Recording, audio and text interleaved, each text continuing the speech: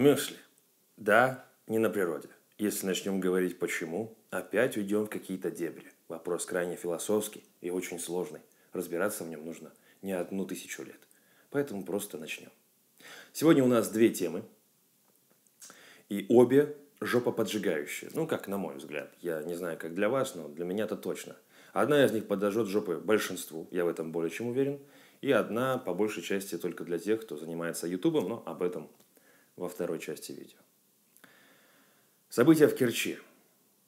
Ужасное. Э, просто, не знаю, не поддается объяснению. Я думаю, что мы не имеем никакого права говорить, что мы понимаем, потому что мы нихуя не понимаем. И только можем представить, что испытывают люди, которые попали в такую ситуацию, кто пострадал, и уж тем более семьи погибших. Я выражаю искреннее, искреннее сочувствие, это ужасно. Это ужасно. Но я не хочу выстраивать никаких теорий, я не хочу говорить ни о каком политическом подтексте.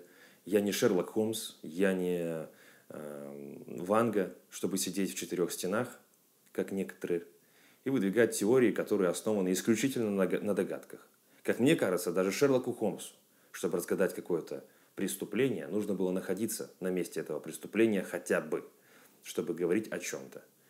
Поэтому выдвигать какого рода формулировки того, что там могло произойти, я, естественно, не буду. Я вроде бы пока еще не долбоеб. Я хотел бы поговорить о другой стороне этого вопроса, а именно, кто виноват и почему.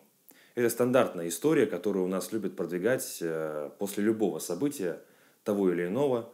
И когда действующим, действующим лицом является объект определенный, в данном случае студент из колледжа, у нас э, резко придумывают историю, почему он мог это сделать, на чем основывается его агрессия, почему он съехал с катушек и почему он решил этим заняться.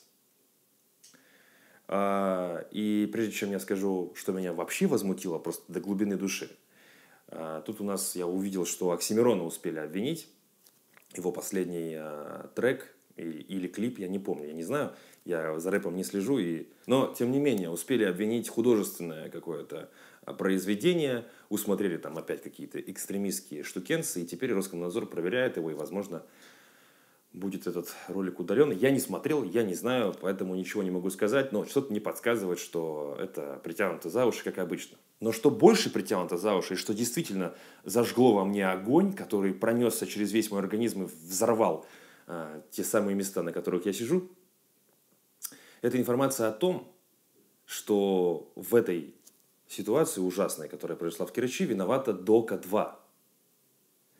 Несуществующая, естественно, игра. И давайте послушаем, что это такое за Дока 2, откуда она взялась и что за сюжет у игры. Что там можно делать, почему она а, так воздействует на организм некоторых людей и творит с ними такие странные вещи, которые впоследствии делают ужасные трагедии. Давайте посмотрим, минутный, по-моему, репортаж, точнее, вырезка из репортажа или интервью, я не знаю, что это было, с какого-то радиоэфира. Дока Trade. Дока Trade что такое? Есть такая игра Дока 2. Что такое Дока 2? Она разрешена в России от 18 лет и старше, хотя видно, что ну, он в эту игру играл. Э, да, от 18 и старше. Но видно, что он в эту игру играл в 13, 14, 15, и у него многие дети ее играют. А что это за этом. игра? Это игра, где ты убиваешь зомби, или ты сам есть зомби, где ты убиваешь самыми изощренными способами людей. То есть там можно придумать свою определенную местность, то есть можно придумать ту же школу, также ее взорвать, убить, но там более изощренная ситуация. То есть там ты не изготавливаешь бомбу, то тебе дается различное оружие, ты можешь trade делать. Почему он называется дока trade? Там идется trade различными оружиями убийства, уничтожения людей. Торговля, То есть ты можешь там, к примеру, как вытаскивать там специальное оружие, как вытаскивать кишки в течение 10 минут. То есть это вот длится вот 10 минут, как вы их вот, вот затягивать. Так, Филипп, давай без подробностей. Да. Ну, Но... я вообще в шоке, что такое есть, я не знала. Ведущий говорит в конце, я даже не знала, что такое может быть. И правильно не знала, потому что такого быть в принципе не может. Во-первых, Дока 2. Что это, блядь, нахуй за хуйня? Какая в пизду Дока 2? Дока 2 trade. Что это, блядь? О чем это вообще, нахуй? Ты что, ебнутый, блядь? Где ты эту хуйню увидал? Что, кто тебе сказал об этом? Что, э, очевидно, что человек абсолютно не секущий, абсолютно не знающий, о чем речь, которому сказали, нужно что-то срочно придумать, придумать что-то ужасное, чтобы люди, которые слушают радио, а я так полагаю, это люди взрослые, которые совершенно не секут в мире игр, большинство этих людей не сечет в мире игр, там, особенно в каких-нибудь непонятных а, провинциях, где, естественно, не до этого, скажем прямо, а, люди вообще не занимаются этими вопросами и, естественно, естественно, не в курсе, чем занимаются их дети. И э, надо нагнать жути как можно больше. И поэтому 10 минут наматывать кишки, это, как мне кажется, на оружие какое-то. Как мне кажется, это идеальное, идеальный пример для того, чтобы нагнать жути. Дока 2. Зомби. Зомби, убивающие людей. Изощренными способами. Можно моделировать ситуации, создавать школы, которые, например, можно взрывать. Серьезно, да? То есть такие игры существуют. Нихуя себе. Покажите, пожалуйста. Я как человек, который занимается и стримингом в некоторые свои свободные минуты, что-то, блядь, таких игр не встречал. Даже папка, который чем-то напоминает это описание, даже там нет и не будет никогда ни в одной, блядь, игре, даже в самых жестоких играх, Manhunt, например, которые запретили для стриминга, запретили для стриминга. То есть люди понимают прекрасно, что некоторые игры все-таки стримить не стоит. Даже там нет такой хуйни, которую он перечисляет. И вообще, а, а, студенты этого признали психически больным, но вот я бы еще бы обратил внимание на этого молодого человека, и не знаю, молодой он, не молодой, что он несет, э, откуда такая фантазия это он сам придумал, это сам он э, это выдумал или ему написали. Просто если сам, то и, тоже стоит проверить на психическое здоровье, потому что это какая-то нездоровая хуйня. Где он вообще увидал такую хуйню? Я единственный раз видел наматывающие кишки, наматывающиеся кишки в фильме «Клетка» с Дженнифер Лопес. И то это был сон, ужас. Это был такой, скажем так, проявление ужасов во сне, где был маньяк, который во сне творил всякую хуйню с воображением. Это единственный фильм, где я помню такую хуйню. Ну, окей, ладно, хорошо, какая-нибудь «Пила» еще. Но там тоже это обусловлено некоторыми событиями в фильме. Есть, не, есть огромная предыстория до таких вот вещей. Как и любые фильмы там, про маньяков, убийц и так далее. Есть какая-то предыстория, почему они стали такими и так далее. Здесь у нас приводится пример «Доку 2». Несуществующую, блядь, игру. Кто не знает, есть такая игра Dota 2. Это моба-игра, где 5 на 5 люди сражаются против друг друга, применяя различные способности, в основном магию. Ну и, естественно, там есть и войны и, так далее. А, это игра, которая вообще не подразумевает собой держание оружия. Как и любой шутер а, на компьютере, он не учат тебя практически стрелять. Во-первых, стрельба там абсолютно отличается от реальной. Ты никогда в жизни не поймешь, как правильно держать оружие. Оно отличается от реального очень даже сильно в большинстве игр. И э, держа мышку и клавиатуру, вот насколько я это понимаю, ты ни, ни в коем случае не будешь профессиональным убийцей, вот, ну, как мне кажется стоит, наверное, обращать внимание больше на тех, ну, если уж говорим про, про такие дебильные вещи, как а, «почему вдруг», блядь, стоит, наверное, обращать внимание на тех, кто ходит в профессиональные секции по стрельбе, да, потому что они-то умеют обращаться с оружием, и вот если у них крышку сорвет, так будет логичнее, что они смогут там что-то сделать с этим оружием, нежели к тем, кто играет в игрушки. Вы серьезно, блядь? В истории, кстати, достаточно случаев, когда людей а, каким-то образом а, как бы из-за чего-то вот они это сделали. Был такой фильм с, с э, Робертом Де Ниро «Таксист». Из-за него там тоже какой-то в Америке школьник пошел, и, или не школьник, а студент, пошел и наделал делов в, в каком-то своем учебном заведении. Но давайте будем честны. А что его к этому привело? Исключительно фильм, то есть он всю свою жизнь, вот я, например, да, всю свою жизнь был более-менее адекватен. Не было никаких серьезных ситуаций, чтобы могли как-то подкосить мое психическое здоровье. И вдруг я смотрю фильм, и меня нахуй переключает. Я просто пизданулся сразу моментально. Но это же не так. Происходит огромное количество событий до ситуации, до различного рода э, стрессов и так далее, из-за которых человек накапливает в себе огромную кучу вопросов, комплексов и всего остального. И потом, может быть, естественно, такое вполне вероятно, когда он уже не психически здоров, когда он уже, ну реально психованный, э, ну, то есть посмотреть, как они себя ведут в повседневной жизни, понятно, что до этого они были вообще неадекватны. Все ясно. И, конечно, последней каплей может стать какое-то любое произведение, будь то клип, песня, книга, блядь, фильм, что угодно. Но это не является причиной. Это является, скажем так, э, последним звоночком, блядь, что все, да, блядь, я готов нахуй. Но никак не, не, не тем, из-за чего это произошло. А у нас все время, блядь, все время, сколько я себя помню, что у нас виновато всегда? Интернет, игры, блядь, блогеры эти ваши ебаные матерятся, блядь, в интернете, поглядите, блядь, Я нахуй с работы прихожу с завода, блядь, беру бутылку пива, сажусь, пью, бью своего ребенка, блядь, по жоп, поджопник, блядь, ему говорю, иди нахуй, делай уроки, или просто иди нахуй. И виноват, конечно же, блядь, этот ебучий Оксимирон, блядь. Или это ебаная ваша дока 2 трейд, блядь. Что там, наматывать кишки можно 10 минут. Вы что там, пизданулись? Вы что, пизданутые? Вы что, сука, уроды ебаные, блядь? А? Гондоны, блядь. Я там на своем заводе, блядь, нахуй это ебать. А вы тут мне это, сука, нахуй. Вы что, блядь, моего ребенка портите, блядь, а? Он у меня вон там клей нюхает, блядь, за гаражами, блядь. Нормально все у него хорошо, блядь, развивается, блядь. А вы ему тут, блядь, в своем интернете, в этом поганом, блядь. Вы что, сука, пизданулись, а? Гондоны, блядь. Идите нахуй. Э, нахуй. Отключу, блядь, все к ебаной матери ваши эти интернеты. А Обама, блядь. Вот такие. Я же матери, я же батери слушают эти эфиры, слушают эти передачи замечательные, да, где рассказывают о том, как оно все устроено на самом деле – и получается, что у нас виноваты все, кроме всех. Вот такая история. Все, кто делает что-то, виноваты, а все, кто ничего не делает, не виноваты. Как мне кажется, а, в первую очередь нужно обращать, я это говорил и буду говорить всегда, на воспитание, в первую очередь. Это точно. Про ситуацию в стране это уж другой вопрос совершенно, который ну, гораздо более глубокий. Но воспитание – это же первоочередная вещь, которая э, формирует личность. Сколько вы не говорите, сколько вы не обсуждаете, сколько вы не э, уверяете и не спорите со мной, что, блядь, э, э, люди там такие-такие, воспитание. Вот если в семье у человека все более-менее нормально, если за ним пытаются, скажем так, следить, если с ним находят общий язык, если к нему прислушиваются, если с ним в чем-то разбираются, приводят примеры, показывают правильные, неправильные примеры, объясняя, что это примеры неправильные. Ну, наверное, у человека будет появляться какое-то представление о добре и зле.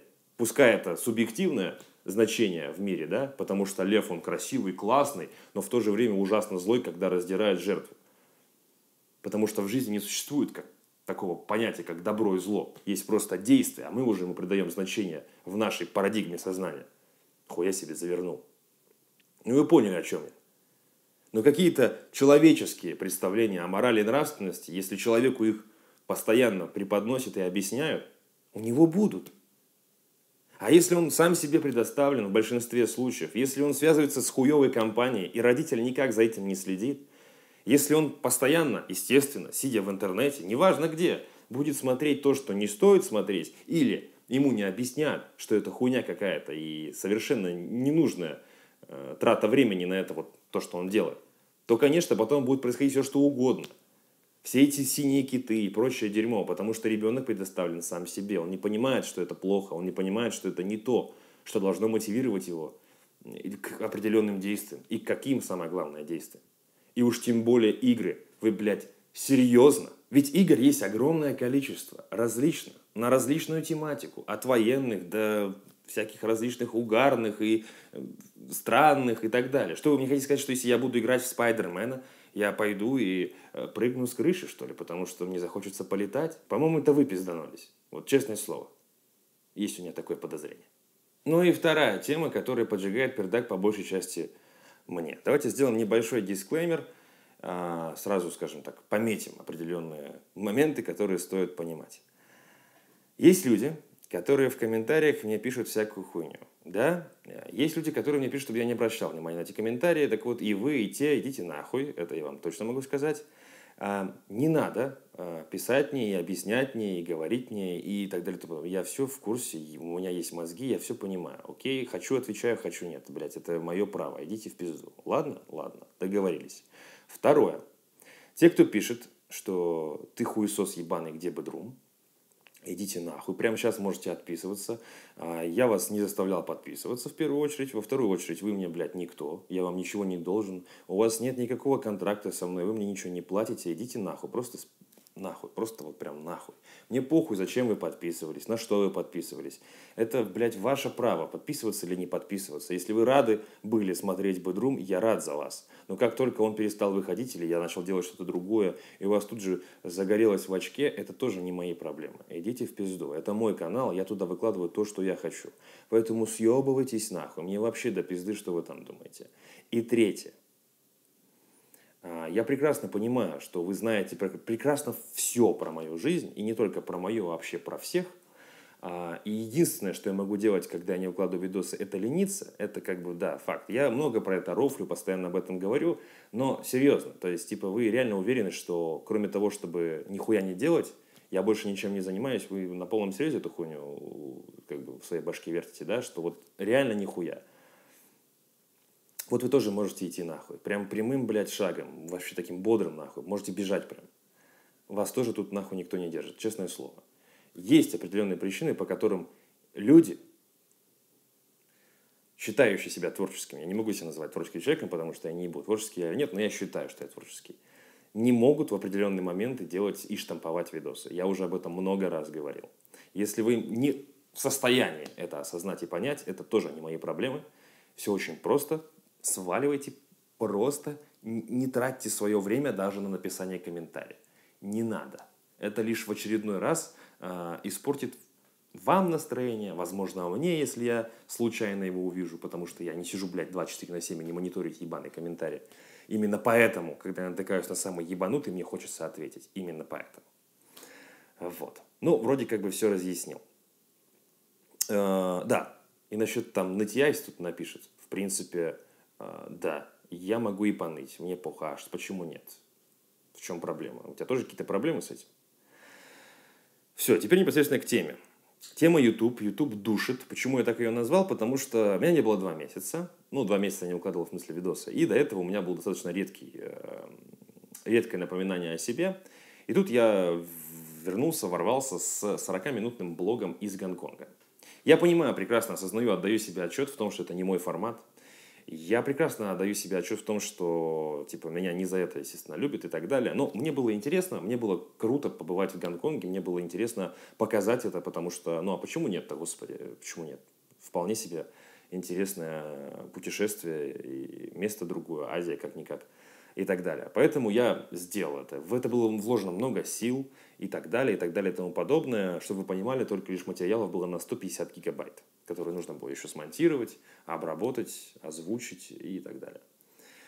А, опять же, еще раз говорю, я осознаю, я отдаю отчет в том, что, скорее всего, этот видос бы как бы не был таким, вот, типа, вау, блядь, боже мой, там миллионы просмотров и так далее. Я как бы прекрасно это понимаю. А затем я решил, думаю, дай-ка я выложу, ну, посмотреть просто, что у меня с каналом вообще, действительно ли так оно или нет, сделать типа вирусного видоса. Ну, не то, что вирусного, но такие любят форсить, вы же знаете сами.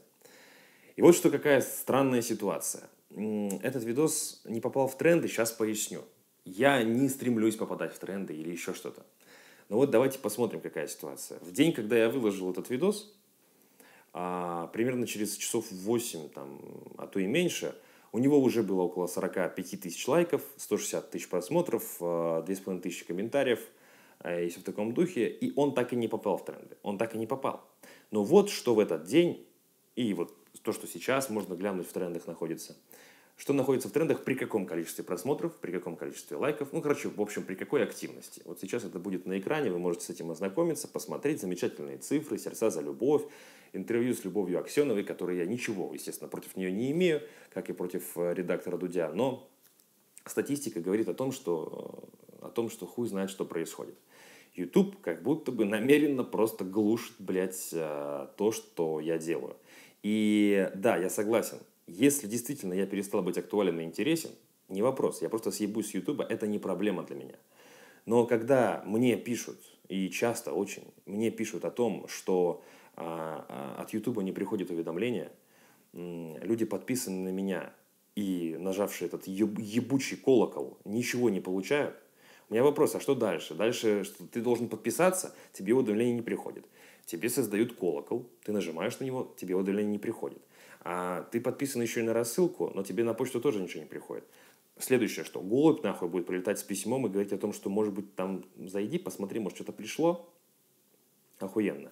Даже мои менеджеры из партнерской программы удивились, почему последний видос не попал в тренды, потому что по всем абсолютно параметрам и по всем абсолютно активностям он должен был там быть в течение там, первых пяти часов точно.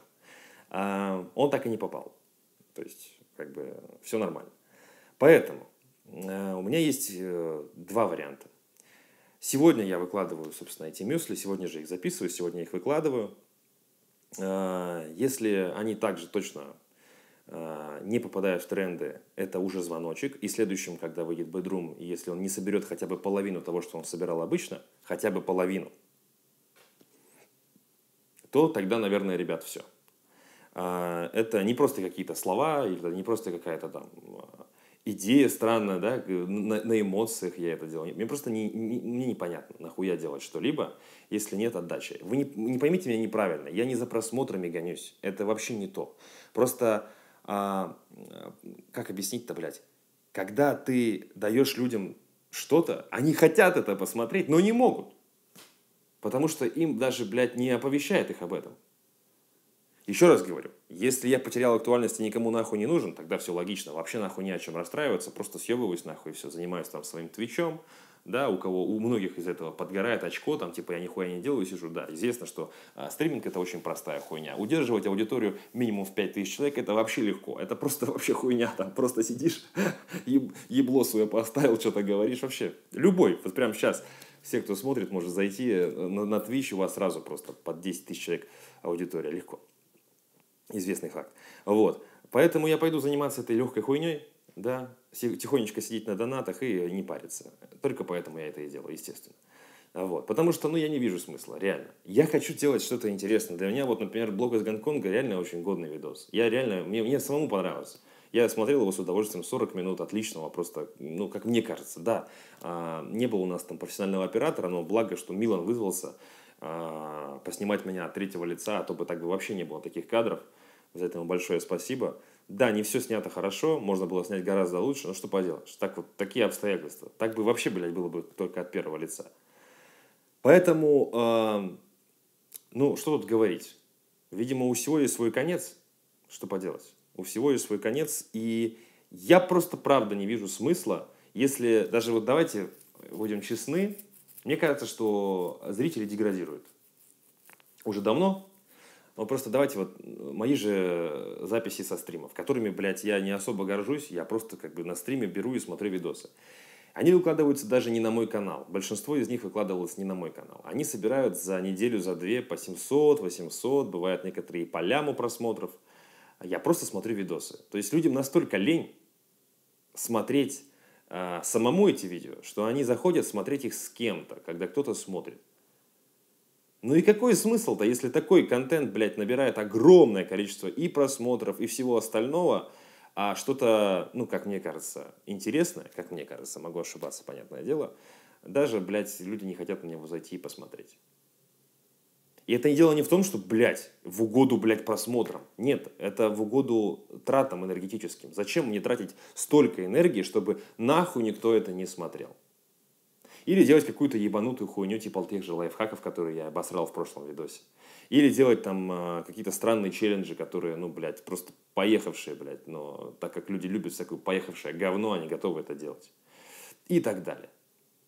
То есть для меня это просто загадка. И я не хочу размениваться на какую-то хуйню в угоду исключительно просмотрам, а, в угоду исключительно хайпу и так далее. Я по-прежнему остаюсь на своей волне и хочу эту волну продвигать дальше. Если эта волна нахуй никому не усралась, то и двигать я ее не хочу. Я не цунами, блядь, мне просто до пизды. Вот честное слово. Не хотите, да не надо. Но, если это делает YouTube, то у меня вообще тогда в башке просто взрывается вообще все просто.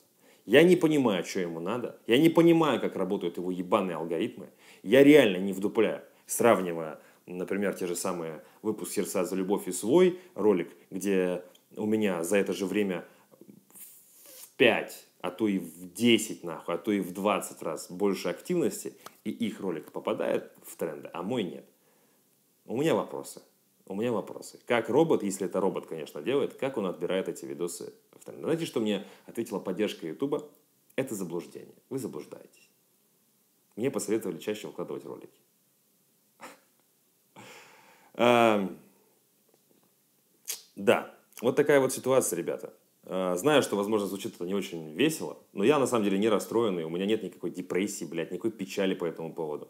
Я, я, я к этому готов, я к этому готов абсолютно точно. Если, э, как сказать, сервис, платформа, на которой я, которой я посвятил 10 лет своей жизни, так относится ко мне А, и в- неважно, то есть, когда у меня все было хорошо, все было хорошо, а когда у меня были некоторые трудности с производством контента, неважно по каким причинам, а, меня сразу же нахуй послали в пизду, типа нахуй его ротировать, он не интересен, он не нужен, он слишком долго не выпускает видосы. Но если такое отношение, так нахуй. Вон Twitch ко мне относится в разы пизже, в разы.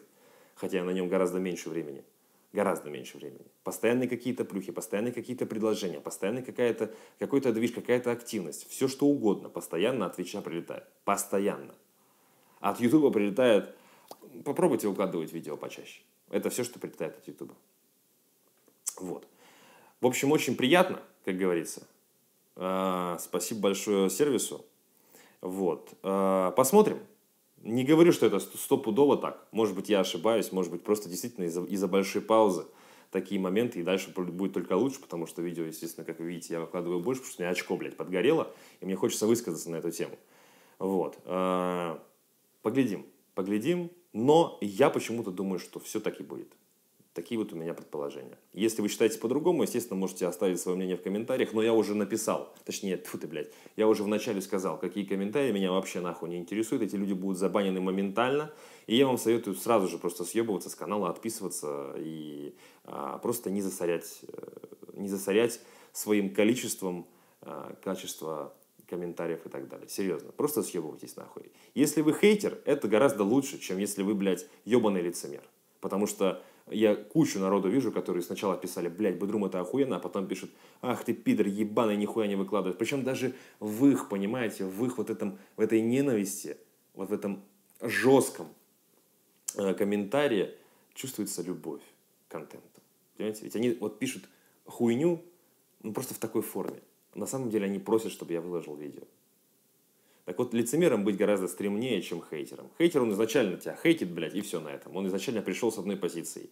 А ты, блядь, свою позицию меняешь туда-сюда обратно, когда выходит то, что тебе нравится или не нравится. Это отвратительно. Фу, просто съебывайся нахуй. Съебывайся и сиди там, смотри все, что хочешь, но только не это, блядь, потому что ты тут нахуй никому не усрался. М? Вот. И еще какой-то тип людей, а, да, тех, которые говорят, Макс, да все будет нормально, да не надо мне вашу поддержку. Блядь, ну не надо. Я и так все прекрасно понимаю. Ну серьезно.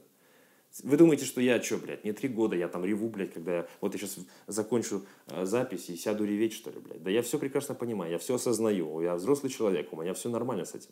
Не надо мне никакие слова поддержки, не надо мне объяснять, почему так устроено, блядь, в жизни, не надо мне объяснять, почему так получилось, блядь, не надо. Я в курсе, у меня голова работает, ладно? Спасибо, и я очень благодарен. Если у вас есть какие-то просто мнения на тему того, что происходит с Ютубом и так далее, пишите. Но если вы хотите, блядь, написать мне о том, почему это происходит конкретно со мной, не утруждайте себя. Все равно, блядь, не буду обращать на это внимания никакого. Потому что заебало. Я уже на протяжении 8 лет читаю одну и ту же хуйню. Под каждым выпуском можно найти комментарий «это лучший выпуск» и найти под этим же выпуском «это самое хуевое дерьмо, которое я видел в своей жизни». Под каждым, блядь, видосом можно найти «фу, скатился» и найти «блядь, Макс, а я в себе ошибался, ты охуенный чувак». Под каждым выпуском можно найти, что, блядь, я какой-то ебаный гондон и в то же время, что я лучший чел на планете Земля. Поэтому не утруждайте себя этой хуйней. Я перечитал огромное количество вариаций комментариев, и из года в год они не меняются. Просто разные люди их пишут. Вот и все. Все, ребят, на сегодня все. Вот такой вот выпуск получился. Всего вам хорошего. Не пукайте или пукайте, потому что не пукать вредно.